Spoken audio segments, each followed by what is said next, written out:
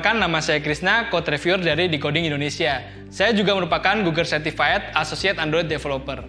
Bagi teman-teman yang baru bergabung di Decoding tetapi belum tahu apa itu bedah kode atau code review, seperti yang tertulis di halaman akademi, setiap tugas yang dikirimkan akan direview oleh developer expert dan akan diberikan feedback secara inline pada kode yang kalian tulis. Nah, pada video kali ini saya akan menjelaskan apa itu code review dan gimana sih teman-teman reviewer di coding ini mereview project kalian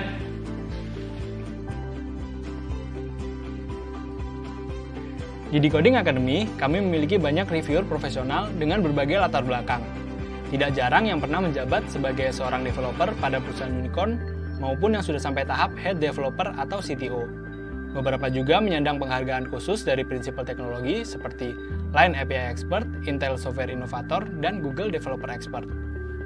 Reviewer kami juga telah divalidasi oleh prinsipal teknologi melalui sertifikat global, seperti Google Associate Android Developer, Google Associate Cloud Engineer, Microsoft Certified Azure Fundamental, Unity Certified Associate, dan iOS App Certified Developer.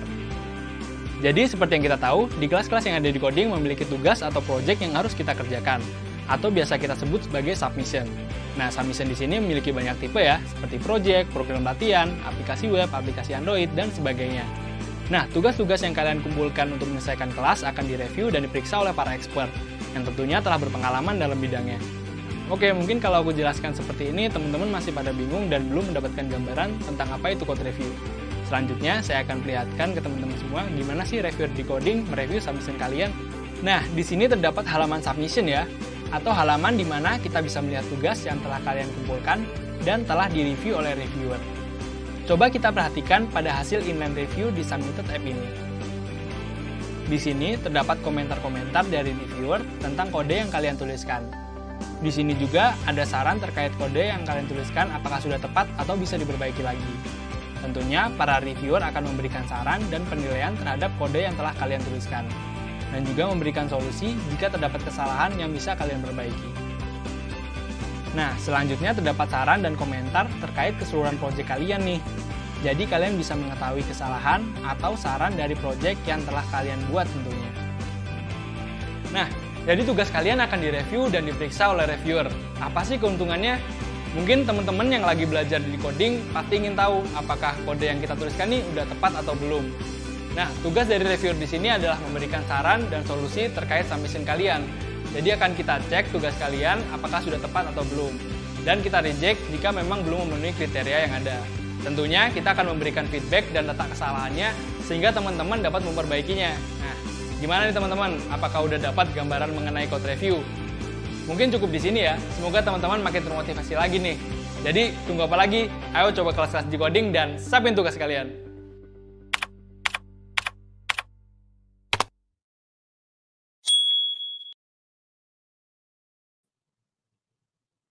Halo, Assalamualaikum warahmatullahi wabarakatuh. Uh, teman-teman, gimana kabarnya? Semoga masih sehat selalu ya.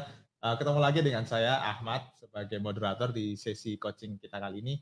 Uh, hari ini kita juga ditemani sama Mas Arif Faizin. Ya, jangan bosan-bosannya sama Mas Arif Faizin sebagai kurikulum developer di Decoding Indonesia.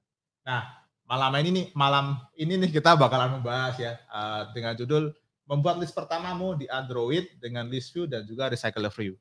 Jadi ini nanti bakalan dibahas komponen-komponen apa saja yang bisa digunakan untuk menampilkan banyak data kayak gitu. Jadi uh, ada list view dan ada juga recycler view nanti bakal dibandingin ya uh, bagusan yang mana sih kayak gitu. Nah, bagi teman-teman nih yang udah nonton jangan lupa juga ajak teman-teman lainnya juga uh, buat nonton uh, apa buat nonton coaching ini. Jadi nanti ilmunya teman-teman dan teman-teman kalian juga dapat apa ilmu yang bermanfaat kayak gitu. Nah, bagi teman-teman juga yang telah mendaftar event ini nanti akan mendapatkan sertifikat ya, jadi nggak perlu daftar ulang lagi atau absen.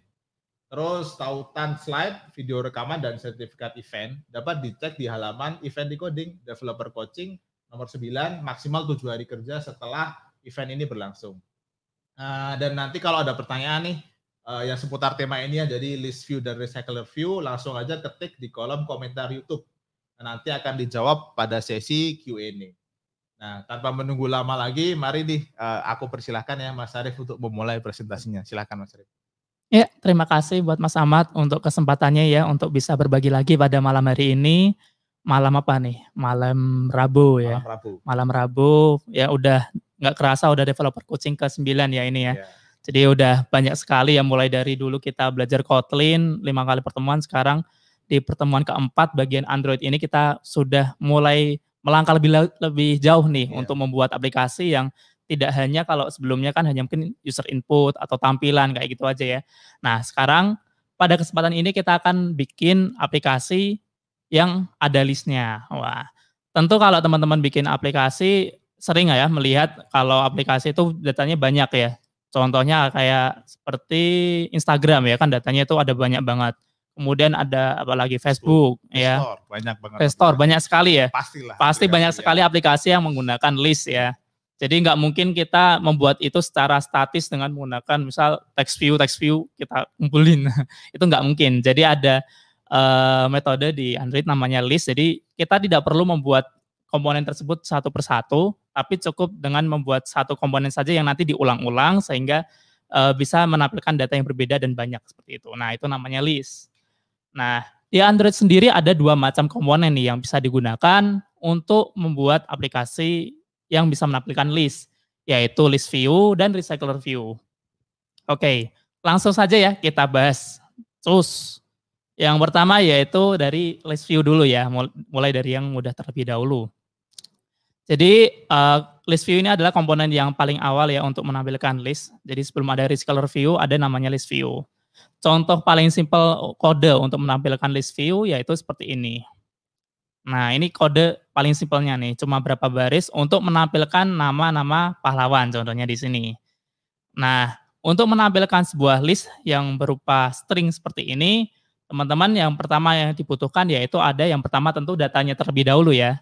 Untuk datanya bisa menggunakan array. Contohnya, contohnya di sini yaitu array yang berisi string ya, berisi nama-nama pahlawan. Jadi cukup menggunakan array, kemudian misalnya di sini nama variabelnya yaitu data name. Nah, langkah selanjutnya yaitu setelah kita punya datanya yang berupa array, langkah kedua yaitu teman-teman harus memiliki yang namanya adapter. Fungsinya apa sih adapter itu? Adapter ya seperti ya di kehidupan sehari-hari ya ada adapter yang di laptop itu kan fungsinya untuk menghubungkan antara data, data source atau listrik dengan laptopnya kayak gitu ya. Itu penghubung. Nah, sama di sini juga sama untuk adapternya ya. Jadi dia menghubungkan antara data dengan list view-nya. Contohnya di sini adapter yang kita gunakan yaitu ada array adapter. Jadi untuk adapter sendiri sebenarnya macam-macam ya yang disediakan oleh Android. Nah, untuk yang versi simple, teman-teman bisa menggunakan array adapter. Jadi di sini teman-teman cukup memasukkan this yaitu konteks, kemudian ada layoutnya. Nah, untuk layoutnya di sini kita menggunakan layout bawaan yang udah disediain sama Android. Makanya di sini kalau teman-teman lihat ada Android titik R titik layout ya. Biasanya kalau teman-teman memanggil layout kan langsung r.layout seperti itu ya. Nah, kalau menggunakan layout bawaan yang udah disediain nih sama si Androidnya, kita bisa menggunakan android.r.layout. Contohnya di sini untuk layout yang digunakan yaitu simple list item. Jadi fungsinya untuk menampilkan list yang simple. Contohnya hanya satu teks saja di sini.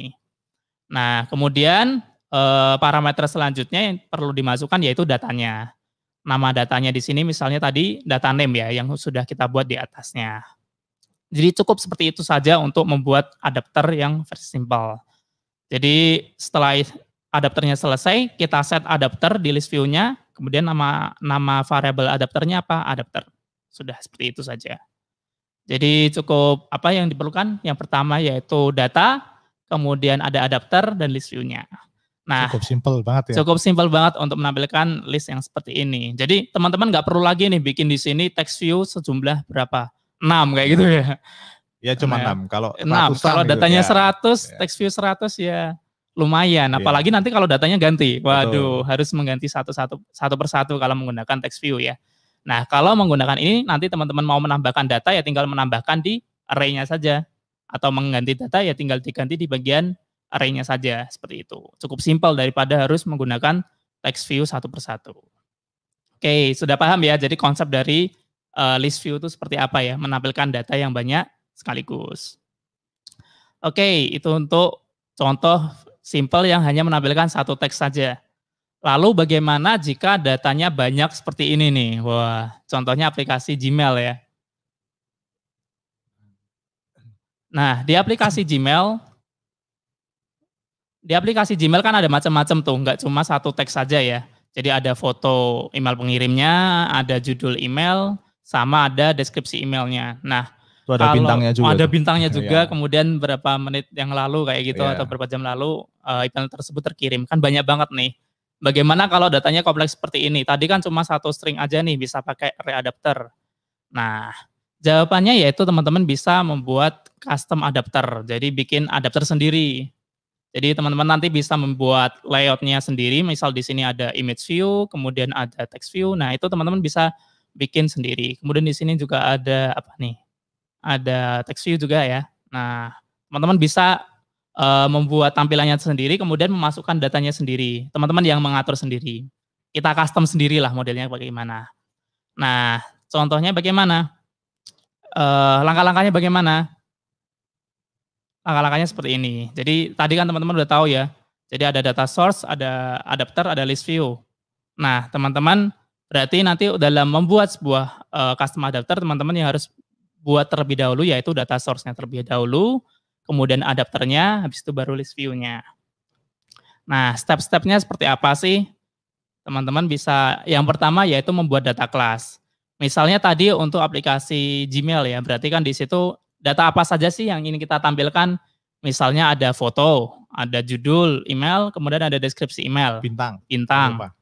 Kemudian waktu seperti itu ya. Nah nanti itu di buat jadi satu dalam dibuat satu dalam data kelas kayak gitu.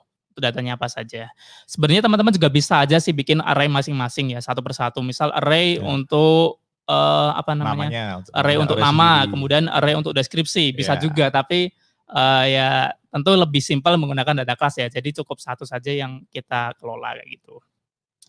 Kemudian langkah selanjutnya yaitu membuat layout list itemnya. Nah, layout list item tuh apa sih ya kalau di aplikasi Gmail tadi berarti ya per itemnya ini. Jadi nggak perlu kita bikin semuanya, cukup satu list itemnya di sini saja, satu item saja. Jadi di sini nanti kalau teman-teman bikin ya hanya ada image view, kemudian text view, text view seperti itu contohnya. Oke, itu kemudian langkah selanjutnya baru teman-teman bikin custom adapternya. Nah, kemudian siapkan data source-nya, kemudian kita hubungkan dengan menggunakan adapter. Cukup mudah ya. Nah, supaya lebih mudah kita akan langsung live code aja ya, lihat bagaimana kodenya yang ya. tadi uh, step-stepnya ini. Oke, sebentar saya share screen terlebih dahulu.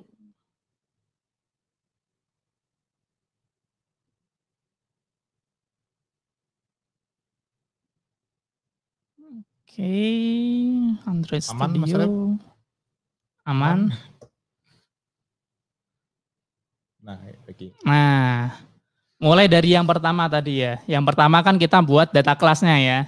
Contohnya di sini saya akan membuat aplikasi yang menampilkan nama pahlawan yang tadi di awal ya. Kalau tadi kan yang pertama hanya namanya saja. Nah, sekarang kita akan menampilkan nama, foto, dan juga deskripsinya. Berarti ya kita buat dulu data kelasnya. Di Kotlin kita bisa bikin data kelas dengan mudah ya. Jadi cukup seperti ini, hanya menggunakan data kelas hero. Jadi nggak perlu bikin setter getter lagi ya, semuanya udah dibuatin sama data class-nya. Kalau teman-teman yang menggunakan Java ya berarti harus bikin uh, setternya, getternya, konstruktornya juga kayak gitu. Nah kalau menggunakan Kotlin cukup data class seperti ini. Kemudian datanya apa aja? Nah untuk datanya juga disesuaikan ya dengan tipenya apa. Misal nama kan bentuknya string, deskripsi string juga. Kemudian foto. Kenapa foto di sini pakainya integer ya? Nah Kenapa? Karena di sini untuk fotonya nanti kita akan mengambil dari drivable. Nah, kalau kita lihat nanti ya, langsung aja di sininya. Misalnya di sini saya untuk data fotonya nanti mengambil dari data foto. Data foto itu kalau kita lihat di array-nya ngambil dari drivable ya. Nah, perlu teman-teman tahu ya kalau semua data yang ada di dalam resource itu untuk kita mengaksesnya tipenya dalam bentuk integer. Jadi kayak hanya seperti nomor lokernya lah, nomor lacinya itu di mana. Jadi nggak langsung gambarnya, tipe data gambar gitu. Tapi hanya e, lokasinya. Misal di sini Ahmad Dahlan misalnya dia di loker satu ya, makanya di situ e, tipenya tadi integer kayak gitu. So, Oke. Okay. Oke, okay, kembali lagi ke sini. Nah, jadi karena itulah di sini tipenya integer ya. Nah, Kalau teman-teman mengambil datanya dari link URL misal ya, nah itu berarti nanti tipe datanya string ya, karena URL kan bentuknya string ya, seperti itu. Jadi menyesuaikan saja dengan tipe yang akan kita tampilkan. Uh, selanjutnya yaitu di sini juga ada parcel label. Nah ini fungsinya nanti buat mengirim data dari list misal ke detailnya supaya bisa langsung banyak kita menggunakan parcel label. Ini udah dibahas ya di pertemuan yang yeah. sebelumnya yang tentang intent tentang parcel label ini. Nah, kalau teman-teman menggunakan Kotlin nih, bisa menggunakan anotasi parcel untuk membuat parcel labelnya itu secara otomatis. Kalau menggunakan Java ya harus kita tulis kodenya secara manual itu untuk bikin uh, parcel labelnya. Nah, dengan Kotlin cukup dengan menggunakan add parcel seperti ini saja. Cukup simpel ya untuk data kelasnya. Langkah kedua yaitu membuat apa? list item ya tadi ya, list layout itemnya. Contohnya di sini saya bikin layout dengan nama item hero item underscore hero. Nah, contohnya seperti ini nih. Tadi ada image view, kemudian ada nama pahlawan, kemudian ada deskripsinya juga. Nah, tinggal dibuat saja untuk listnya ini. Kemudian jangan lupa juga untuk dikasih ID ya, biar nanti untuk mencarinya lebih mudah. Oke, seperti ini untuk tampilan list itemnya kesalahan yang sering terjadi saat kita membuat list item ini apa? Biasanya tuh ada yang dia bikin untuk list itemnya, untuk heads-nya ini, head-nya ini masih menggunakan wrap, masih menggunakan match parent. Jadi oh, dia lebar yeah. sampai ke bawah. Jadi kalau dia scroll satu halaman baru ada yeah. satu list lagi, satu list lagi. kan itemnya yeah. satu halaman. Jadi pastikan untuk tinggi dari layout dasarnya ini menggunakan wrap content ya. Supaya apa? Supaya nanti di bawahnya muncul lagi, muncul lagi berdekatan, enggak jarak enggak jarak jauh kayak gitu. Oke, ini contoh ya. Teman-teman udah bisa lah. Oh iya, di sini juga ada tambahan lagi yaitu untuk image view-nya kita menggunakan library namanya Circle Image View ya. Jadi untuk menampilkan gambar yang dalam bentuk lingkaran. Oke. Library nanti akan kita bahas juga di pertemuan-pertemuan selanjutnya. Jadi untuk memodif lah, kalau biasanya image view kan kita menampilkan dalam bentuk kotak ya. Iya. Nah dengan menggunakan circle image view ini bisa dalam bentuk lingkaran. Oke, ini untuk contoh item layoutnya sudah selesai. Kemudian langkah selanjutnya tadi apa? Membuat adapternya ya, custom adapter. Nah untuk membuatnya teman-teman bisa bikin kelas baru di sini. Misal di sini saya sudah buat namanya hero adapter. Oke, jadi ini kita bikin kelas baru. Bikin kelas baru gimana sih caranya? Ya tinggal klik kanan di nama package-nya ini, kemudian new, kemudian Kotlin file atau kelas kayak gitu ya. Nah setelah itu teman-teman bikin namanya misalnya nah, hero adapter. Nah supaya kelas yang teman-teman buat ini mempunyai sifat yang sama dengan adapter ya, teman-teman harus extend kelas ini ke base adapter. Makanya di sini ada extend ke base adapter. Jadi kalau teman-teman udah, udah tahu OOP ini jadi turunannya kayak gitu ya. Jadi dia memiliki sifat yang sama dengan base adapter. Base adapter apa sih? Ya adapter yang paling dasar kayak gitu buat bikin adapter. Jadi teman-teman nanti bisa modif dari base adapter ini. Oke. Kemudian di sini ada variabel heroes yang berisi release hero ya. Jadi hero tadi apa? Nama data kelasnya ya. Sudah tahu kan ya tadi yang sudah kita buat sebelumnya. Nah, di sini nama variabelnya heroes. Nah, kemudian kalau kita uh, mengimplementasikan base adapter ya, kita extend ke base adapter, harus ada beberapa fungsi yang ada, yaitu di sini kalau uh, di base adapter ada get count, get item, get item ID, dan get view. Nah, get count fungsinya apa? Fungsinya untuk nanti untuk jumlah list yang ditampilkan ada berapa sih? Nah, tentunya kan sesuai dengan jumlah datanya ya. Makanya di sini kita menggunakan heroes.size. Kemudian ada get item. Get item ini fungsinya apa? Untuk mendapatkan data per itemnya. Nah, untuk mendapatkan data per itemnya tentu dari data tersebut kemudian menggunakan indeks i. I itu yaitu posisinya ya. Jadi i adalah posisi di sini. Jadi uh, misal tadi di sini kita punya tujuh ya, ada tujuh data. Misal untuk data pertama nanti dia akan looping dari data ke 0, ke 1, 2, 3, 4, 5, 6 seperti itu. Oke. Kemudian ada ID dan yang paling penting intinya yaitu ada di bagian get view ini. Get view ini fungsinya apa? Yang pertama yaitu menghubungkan layout item yang barusan kita buat tadi. Jadi misal di sini tadi namanya item hero ya. Nah, kodenya seperti ini untuk menghubungkannya. Kode ini uh, sama terus ya. Jadi kalau teman-teman mau bikin lagi itu aslinya sama saja untuk untuk bagian ininya. Yang berbeda hanya di bagian layoutnya itu saja, yaitu item underscore hero. Jadi kalau teman-teman nanti ini mau bikin lagi bisa pakai ini di copy aja, kemudian diganti di bagian layoutnya tinggal disesuaikan. Nah, kemudian yang selanjutnya di sini juga ada view holder. Fungsinya buat apa sih view holder itu? Untuk menampung data. Jadi uh, tadi uh, di bagian item layout kan kita punya txt, text view name, kemudian ada deskripsi dan image foto ya. Nah, itu teman-teman untuk deklarasinya di sini untuk inisialisasinya. Setelah dapat, kemudian uh, ini data yang sudah kita dapat tadi kita taruh di mana?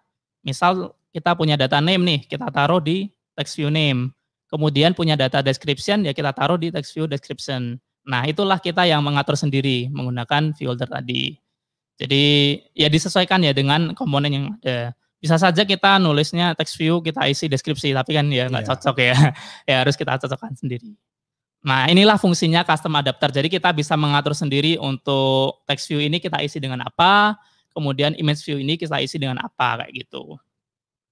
Oke, okay, seperti itu ya. Jadi uh, untuk custom adapter ini cukup simpel. Oke, okay. uh, lumayan tahu ya fungsinya masing-masing. Nah, selanjutnya yaitu pada bagian main activity nih, eh, teman-teman bisa deklarasikan tadi untuk list view-nya. Jadi diinisialisasi dulu, Kemudian adapternya tadi yang sudah kita buat, kita inisialisasi adapter sama dengan hero adapter ya, ini yang kita buat tadi. Kemudian kita set adapter. Kalau tadi kan adapter yang yang di contoh pertama tadi kan menggunakan uh, array adapter ya. Di sini kita ganti jadi hero adapter. Oke. Okay. Nah, langkah selanjutnya yaitu menyiapkan datanya. Contohnya di sini saya sudah menyiapkan datanya di bagian resource Kemudian di bagian values string nah di sini ada ada data nama pahlawannya, ada data deskripsi, data foto, semua saya taruh di sini. Nah, untuk mengambilnya tinggal menggunakan resource get string array karena tadi dia tipenya array ya kalau kita lihat di sini, string array. Kemudian yang deskripsi juga sama. Nah, yang beda yaitu di sini ada obtain type type array ya untuk foto. Kenapa beda? Karena tadi ya dia tipe tipenya yaitu dari drawable. Jadi kita nggak bisa langsung get string array seperti yang di atasnya. Oke, seperti itu. Kemudian di bagian bawahnya setelah kita dapat masing-masing datanya, kemudian kita masukkan ke dalam data class yang kita buat tadi yaitu data class hero, release hero ya. Jadi tinggal di looping, kemudian dimasukkan satu-satu, kemudian di Heroes ini berarti nanti sudah terkumpul semua datanya. Setelah terkumpul semua datanya, kita masukkan ke dalam adapter menggunakan adapter. Kemudian di sini ada setter untuk Heroesnya, kita isi data variabel yang sudah kita buat sebelumnya ini. Jadi ini udah kumpulan datanya. Nah, sampai situ aplikasi sudah bisa dijalankan. Jadi kalau kita lihat mana aja tadi. Ini untuk datanya, Kemudian adapternya ini tadi sudah kita buat, kemudian sudah kita isi juga dengan datanya. Kemudian yang terakhir sudah kita set adapternya juga ya. Jadi kodenya sudah lengkap, udah bisa teman-teman jalankan. Oke. Oke, di sini saya akan coba untuk melihat untuk ininya. Akan saya share screen untuk hasilnya. Sebentar.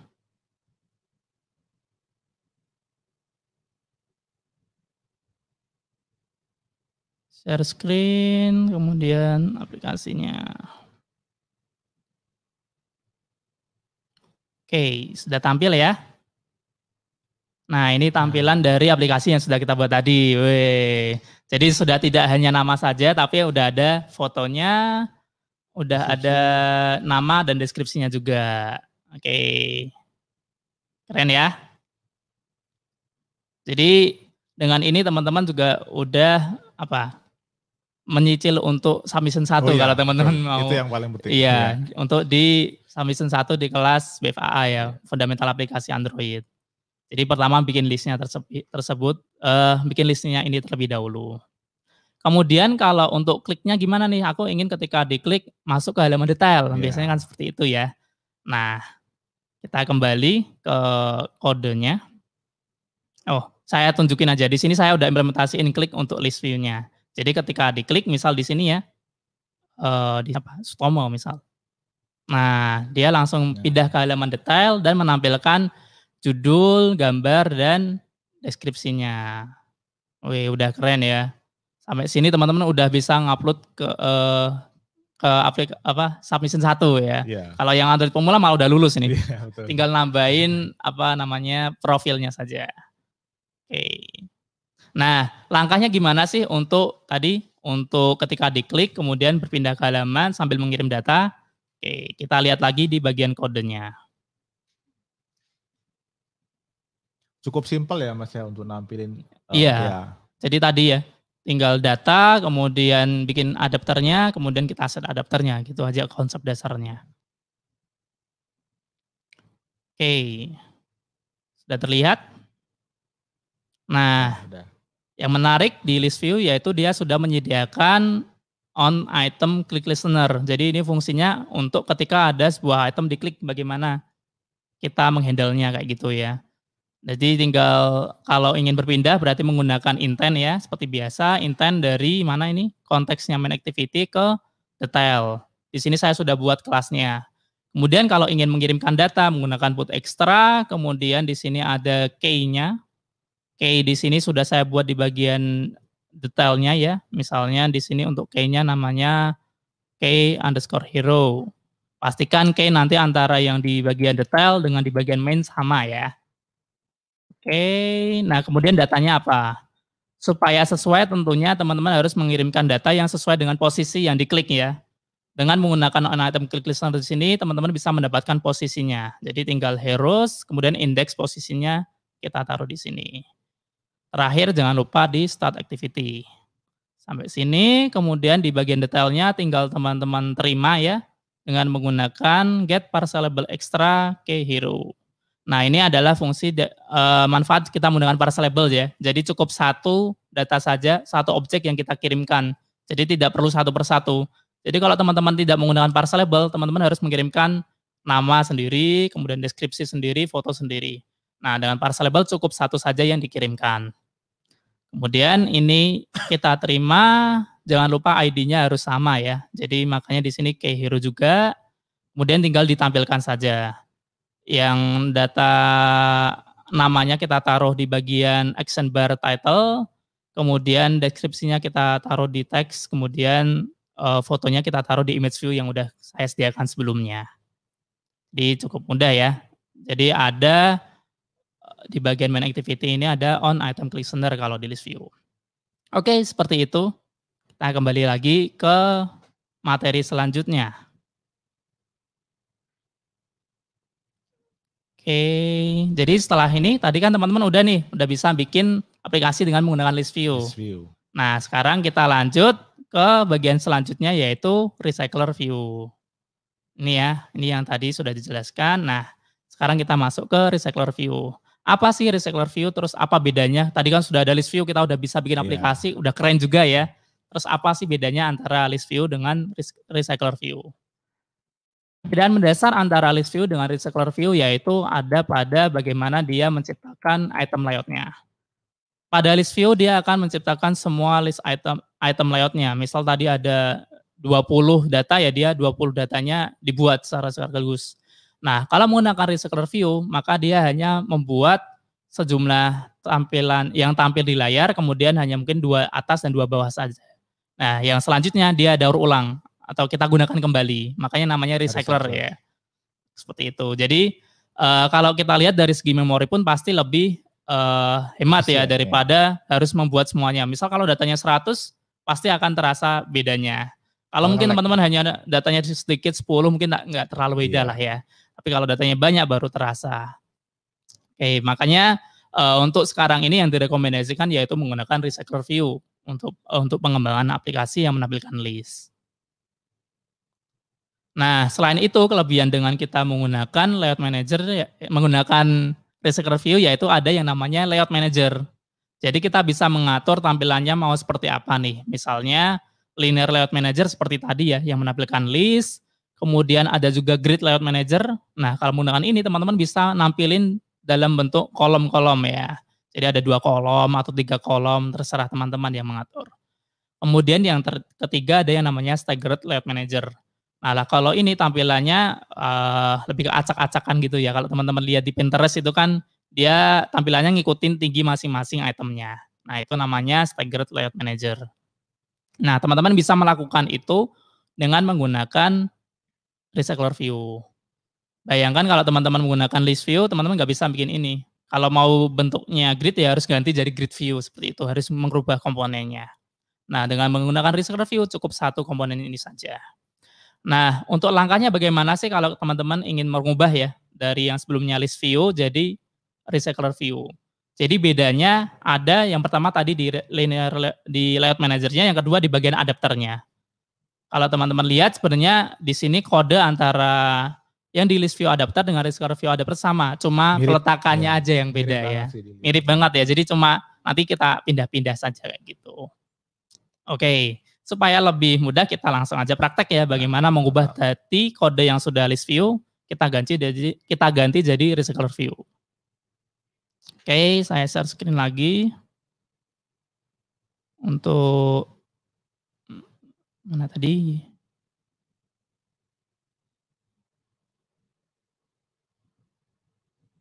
Wah, terus studionya hilang. Biasa masalah. Biasa. Oke, sudah tampil. Nah, yang pertama yang perlu teman-teman ganti yaitu tentu di bagian layoutnya ya. Komponennya kita ganti terlebih dahulu. Yang sebelumnya menggunakan list view, kita ganti jadi recycler view. Jadi tinggal diganti aja gini. Nah, pilih yang recycler view. Kemudian ID-nya harus beda ya. Kita ganti RV untuk recycle view. Nah, kemudian yang list view lama kita umpetin dulu ya, pakai visibility aja. Bye-bye, ikon. Biar nggak kelihatan untuk yang list view-nya. Nah, selanjutnya yaitu teman-teman perlu membuat adapternya ya. Jadi adapter yang khusus untuk recycle view. Nah, teman-teman bikin adapter baru, klik kanan new, Kotlin file, kemudian misal namanya recycler recycler adapter misalnya ya. Oke, kemudian kalau tadi di list view kita extend ke base adapter base ya. Adapter. Nah, recycler view punya adapter sendiri namanya recycler view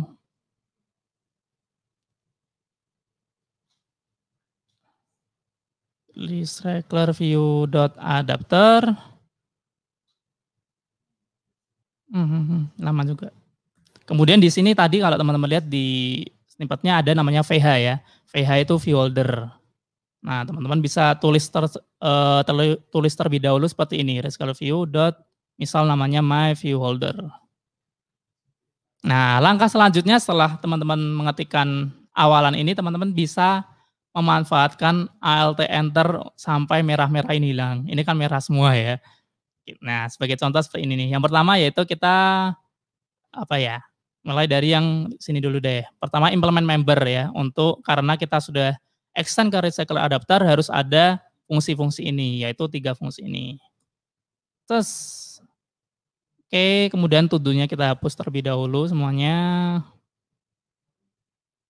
Kemudian di sini masih ada yang merah lagi ya, yaitu my view holder. Ini adalah kelas sendiri yang kita buat karena di sini belum ada uh, eh ini salah ini namanya nih recycler adapter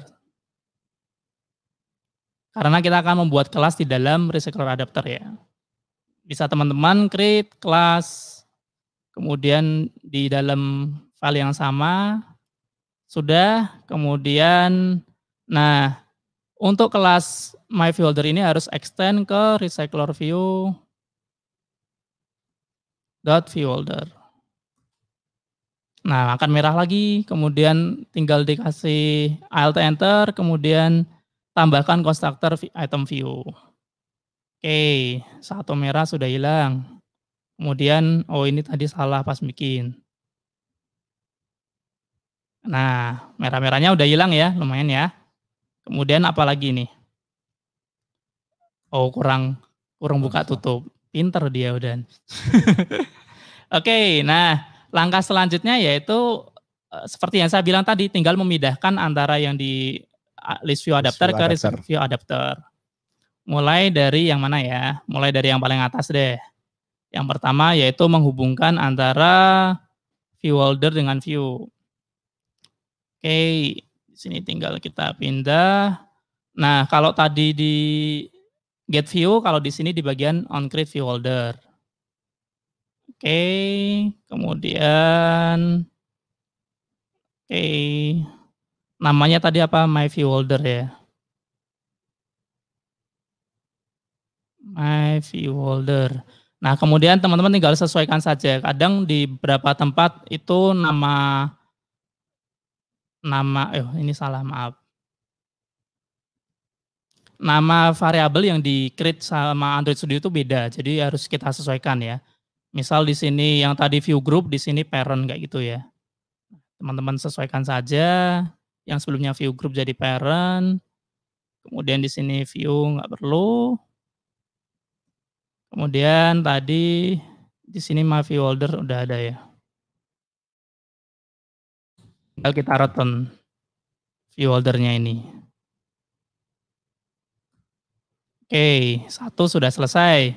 Kemudian Kemudian di bagian on bind view holder isinya apa? Isinya yang bagian bind. Mana ya? Ini. View holder bind. Kita pindah saja ke sini. Kita nama view holdernya yaitu my view holder. Eh, namanya yang disesuaikan dengan yang ada di sini ya. Holder. Kemudian heroesnya, heroesnya belum ada. Tadi belum kita copy yang di sini. Heroes. Mulai. Kemudian apalagi nih yang belum kita copy. Kemudian view holdernya ya. Bisa teman-teman copy saja. Kemudian dipindah ke sini, taruh sini. Jadi kodenya sama ya ternyata ya, cuma kita pindah-pindah doang. Tempatnya saja yang beda. Oke, ini holder. Dan yang terakhir get item count. Kalau di hero adapter yang list view tadi namanya get count. Tinggal kita pindah saja. Hero size. Proton hero size. Nah, kalau di Kotlin teman-teman tadi udah lihat ya, bisa kita lebih singkat lagi menggunakan expression body. Jadi kalau kita convert nah bisa seperti ini. Jadi nggak nggak ada kata return lagi ya. Kemudian INT juga bisa kita hapus. Simpel ya. Salah satu kelebihan Kotlin ya. Oke, sekarang kelasnya sudah selesai nih, udah kita buat. Langkah selanjutnya tinggal di bagian main activity-nya kita deklarasikan ya. Jadi misal sama modelnya nanti seperti ini, jadi saya copy saja. Misal namanya recycler view.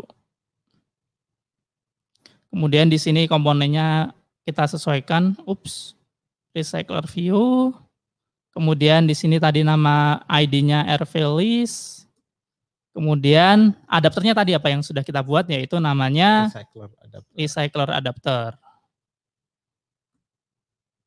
Dan di sini recycler view, nama variabelnya ini ya. Ini belum ke import ini pasti. Oke, sudah. Oh iya, adapter nggak boleh sama ya namanya ya. Misalnya di sini saya ganti recycler adapter. Oke, seperti itu sudah selesai. Nah, tapi kalau teman-teman menjalankan ini nanti tidak akan tampil. Kenapa? Karena tadi di recycler view dia harus ada yang namanya layout manager ya.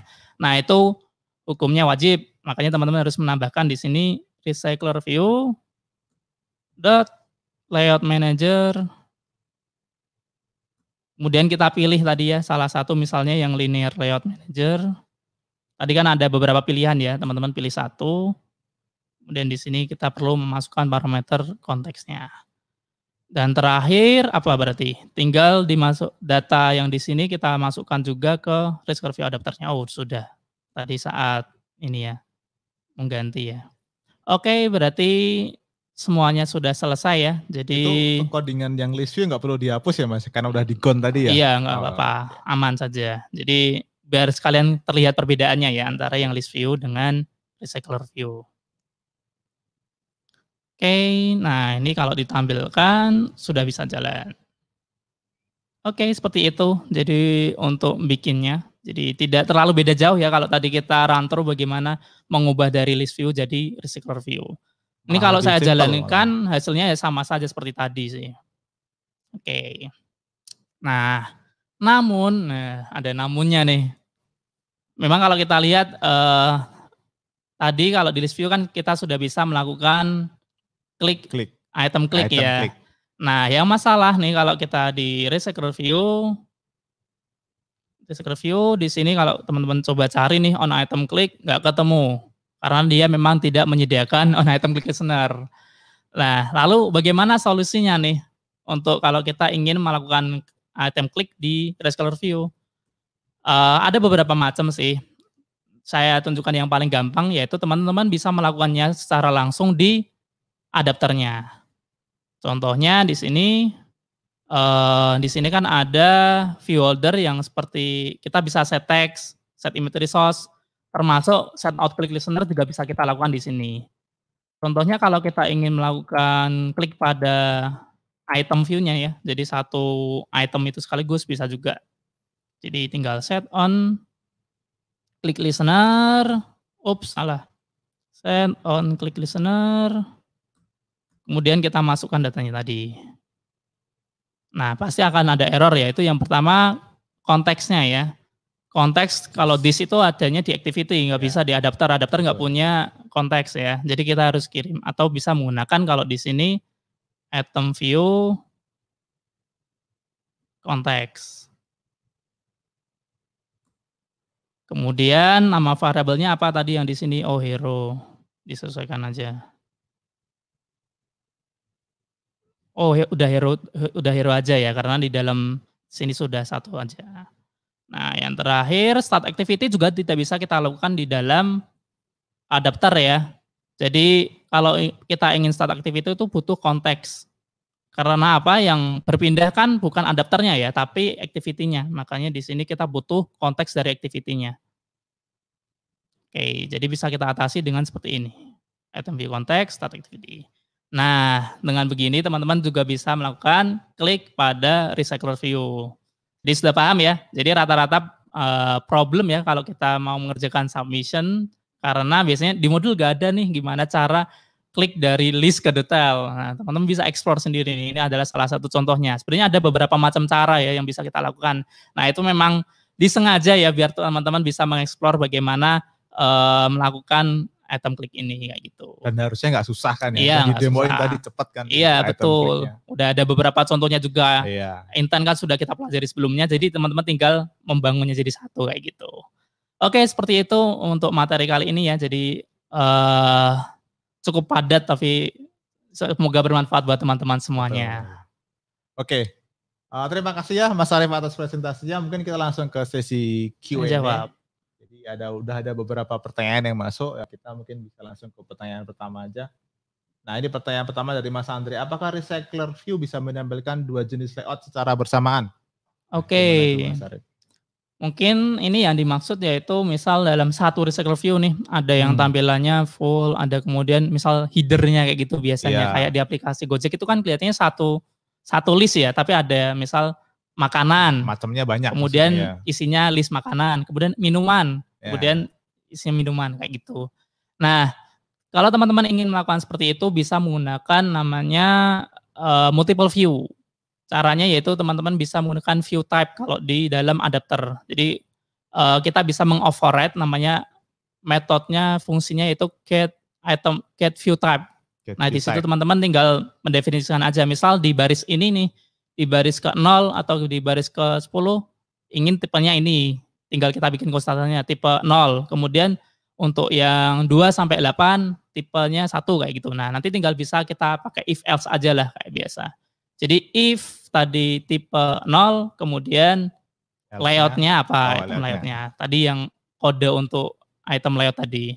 Tinggal itunya doang yang diganti sih. Bisa teman-teman lakukan. Kalau teman-teman ingin mengeksplor lebih lanjut, sebenarnya di blog decoding itu udah ada yang menjelaskan tentang ini. Jadi cari saja dengan kata, kata kunci multiple view di rescaler view ada Mas Alfian yang bikin blog Oke, tentang mantap. itu kayaknya.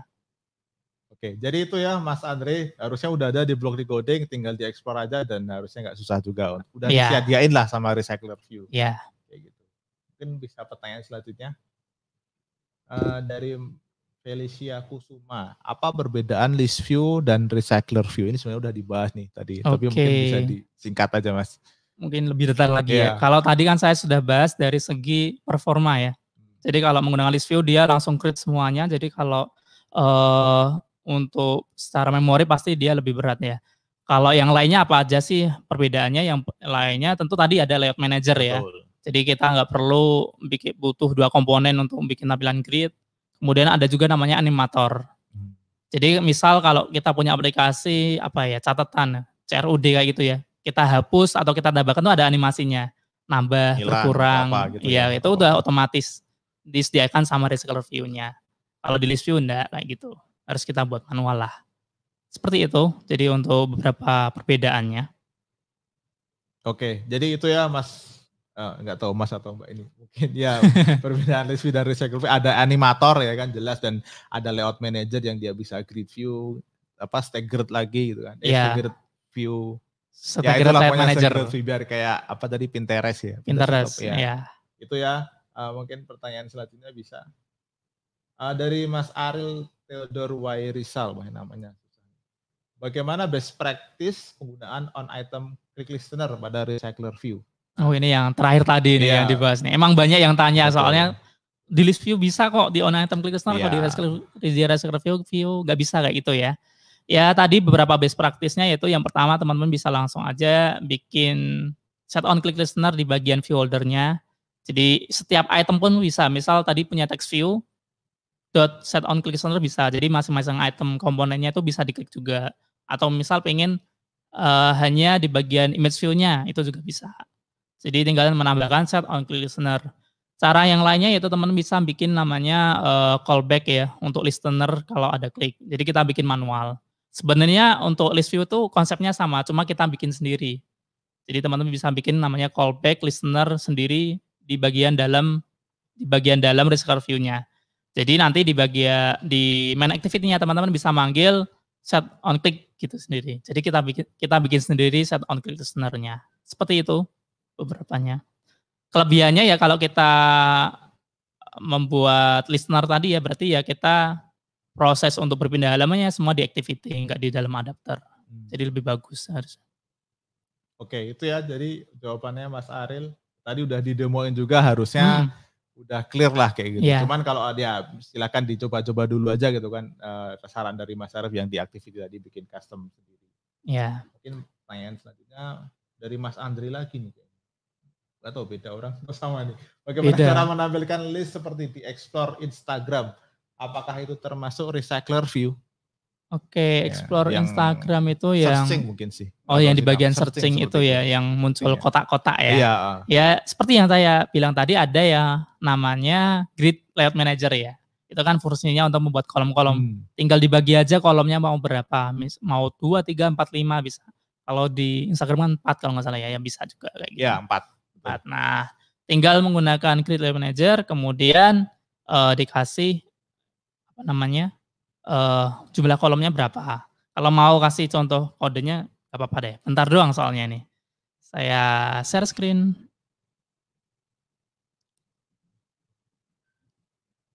Mana nih? Oke.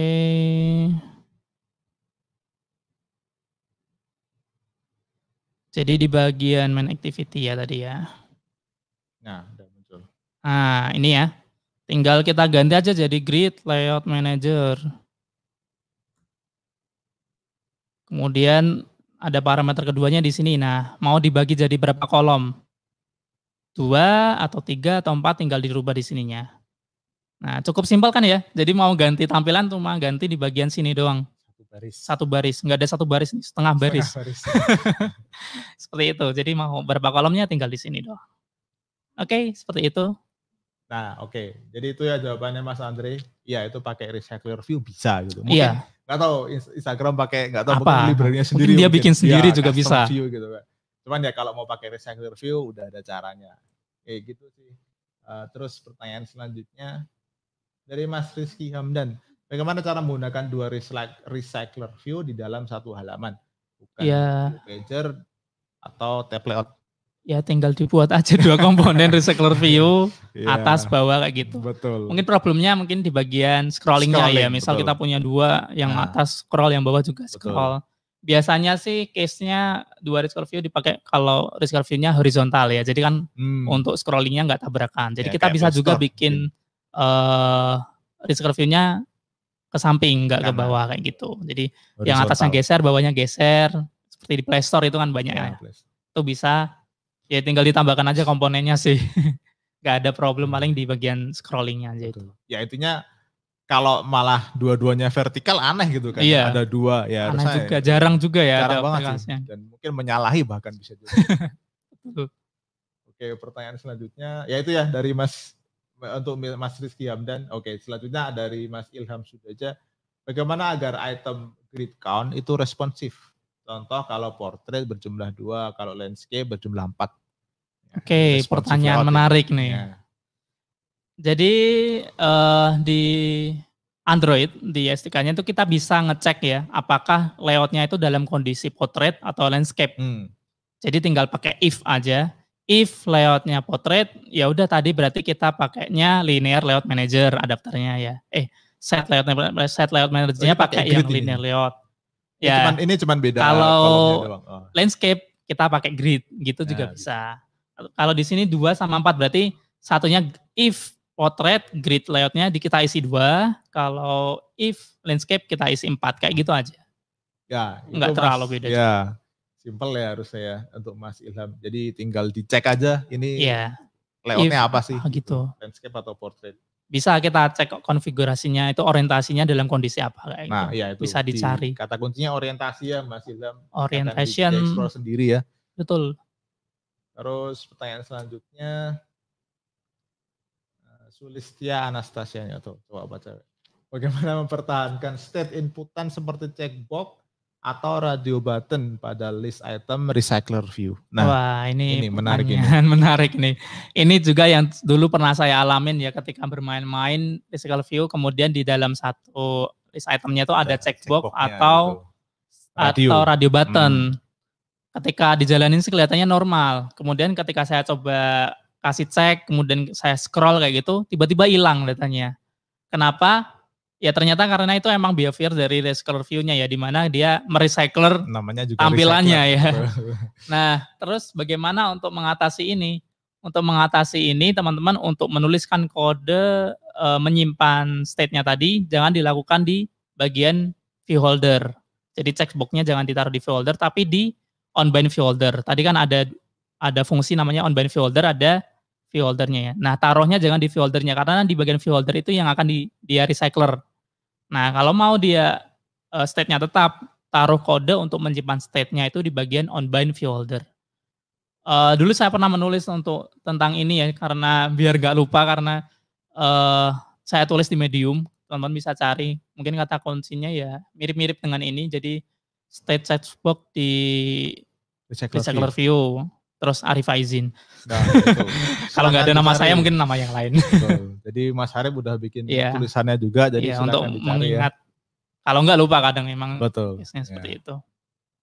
Oke, itu eh, Sulistia Anastasia. Pertanyaan selanjutnya dari Johandi Patria. Bagaimana cara membuat group list? Group list. Ah. Nah, ini mirip seperti yang pertanyaan pertama tadi ya. Jadi Dua itu ya Ah, tadi ya, misal jenis. kelompok makanan, Ah. kemudian kelompok minuman, itu case-nya sama seperti yang multiple view tadi.